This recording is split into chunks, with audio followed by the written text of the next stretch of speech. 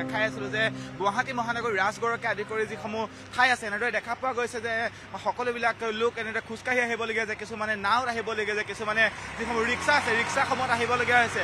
এগৰাকী গৰ্ভৱতী মহিলা এই মুহূৰ্তত এগৰাকী গৰ্ভৱতী মহিলা আহি থকা দেখিবলৈ পোৱা গৈছে। আমি তেওঁৰ পৰা কথা পাতিবলৈ যত্ন কৰিম। যিহেতু তেওঁ ওপৰলৈ আহি লওক। এইটো যিহেতু এনেদৰে ইমান কষ্ট কৰি আপুনি আহিবলগীয়া হৈছে এনেদৰে বানপানী সমগ্ৰ ঠাইত গোটেইখিনি বানপানী অঞ্চল এনেদৰে আপুনি খোজকাঢ়ি আহিবলগীয়া হৈছে বাইদেউ কি মন্তব্য দিব বিচাৰিব এই মুহূৰ্তত? কি ক'ব বিচাৰিব?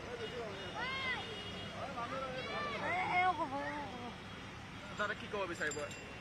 কি ক'ম আৰু যে আহিছোঁ যেনেকৈ এনেকৈ তেনেকৈ এতিয়া মেডিকেল লৈ আহিছিলোঁ পেচেণ্ট লৈ আহিছোঁ। অলপ ৰাস্তাত যেনেকুৱা পানী ইমান পানী দি পাৰ হৈ আহিব লগা হৈছে। ইমান অসুবিধাত আহিছোঁ। অলপ অসুবিধা হৈছে। বৰ্তমান তেওঁক জি এম চি লৈ আহিছে নেকি? মই জি এম চি লৈ আহিছোঁ। যথেষ্ট কষ্ট কৰি আপোনালোক আহিবলগীয়া হৈছে। ইপাৰৰ পৰা সিপাৰ হওঁতে যথেষ্ট কষ্ট প্ৰায় আধা কিলোমিটাৰ পৰ্যন্ত পথ আপোনালোকে খোজকাঢ়ি আহিবলগীয়া হৈছে। তাতে বানপানী একাঠো পৰ্যন্ত বানপানী এককাল পৰ্যন্ত বানপানী। যথেষ্ট যথেষ্ট আপোনালোকৰ অসুবিধা হৈছে। অসুবিধা হৈছে আমাৰ।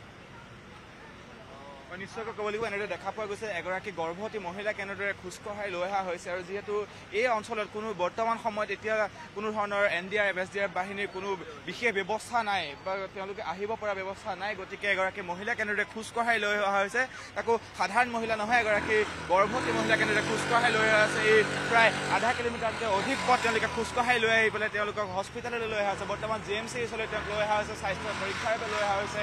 এইগৰাকী মহিলাক আমি সমূহ দৰ্শকক দেখাই আছিলো। যে এগৰাকী মহিলাক কেনেদৰে এই ৰাস্তা যি বানপানী অঞ্চল এই বানপানীৰ পৰা তেওঁলোকে ৰাস্তালৈ উঠাই আনি কেনেকৈ হস্পিটেললৈ লৈ অহা হৈছে